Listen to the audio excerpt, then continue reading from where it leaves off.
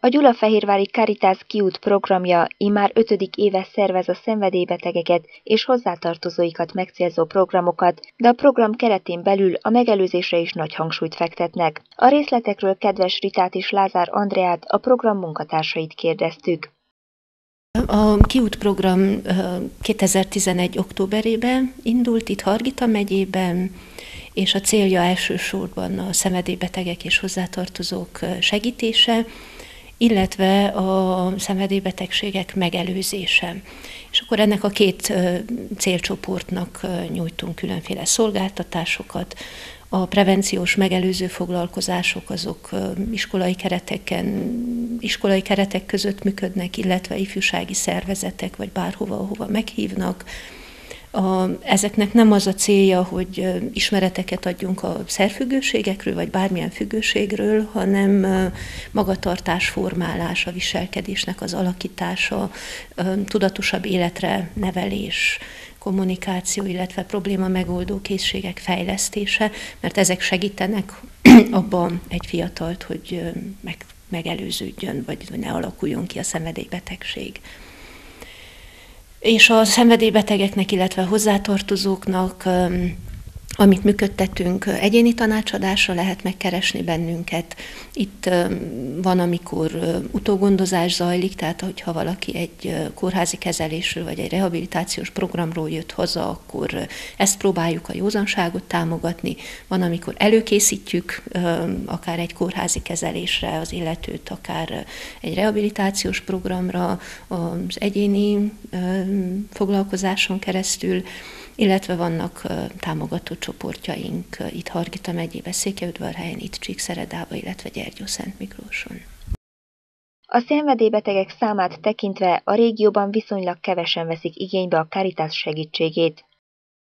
Hát ahhoz képest, hogy mekkora probléma akár itt a, a zónában, mondjuk konkrétan az alkoholfüggőség, nyilván számarányban nagyon kevesen de ez nem egy illúzió szakma, tehát tudatában vagyunk, hogy a problémához képest, a jelenséghez képest, hogy mennyire elterjedt, nagyon kicsi százalék az, aki megkeres, és még ott is attól, hogy megkeresnek, egyáltalán nem biztos, hogy, hogy, hogy meg is találják a kiutat, mert hogy ez egy hosszú és fáradtságos út, tehát ez nem egy sikerszakma miénk. Kik a nyitottabbak amúgy a hozzátartozók, vagy inkább maga a betegek, úgymond?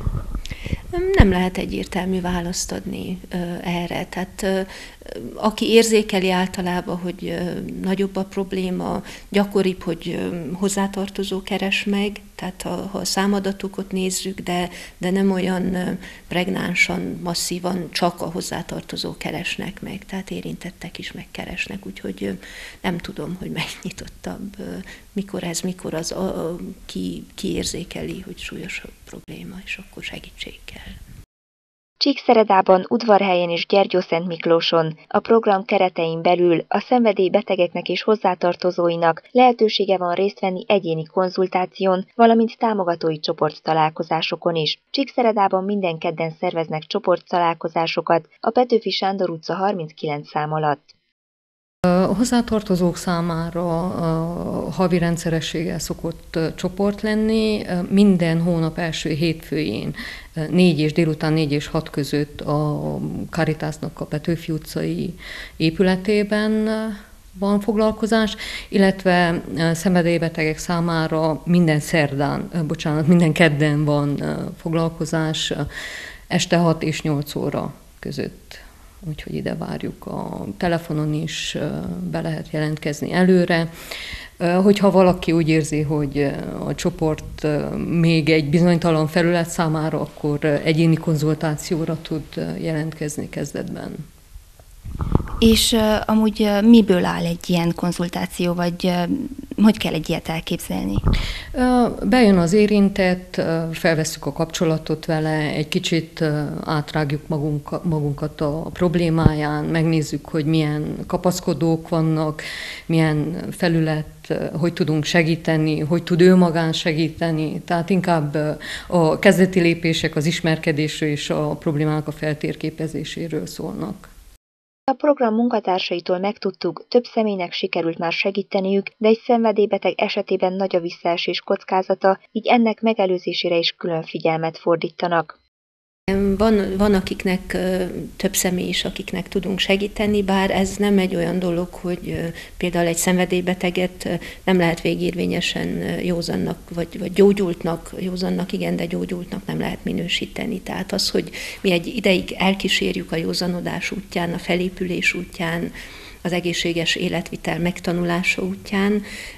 Ilyenre van, hála jó Istennek, számos példa, és ez nekünk is erősítés, visszajelzés, hogy igen, nem hiába való a munkánk, viszont mindig óvatos kell lenni, mert a szenvedélybetegségnél nem elég, hogy szermentes vagyok, hanem a felépülés megtanulása az egy életprogrammá kell váljon, belső kapcsolatát kell önmagával elsősorban kialakítsa, és ebben éber legyen, hogy a visszaesés csapdáit elkerülje.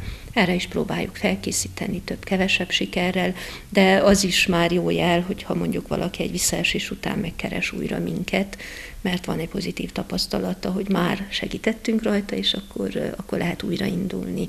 És már nem onnan indul, ahol korábban volt, mert már van egy kapcsolat, már van egy tapasztalata a józanságról, szóval, hogy ez sem programálható, vagy kiszámítható dolog. Egyéni konzultációra vagy a csoporttalálkozásokra a képernyőn látható telefonszámokon lehet jelentkezni, vagy személyesen a helyszínen. További részletek elérhetőek a Gyulafehérvári Caritas honlapján, a Caritas kötőjel app.ro honlapon.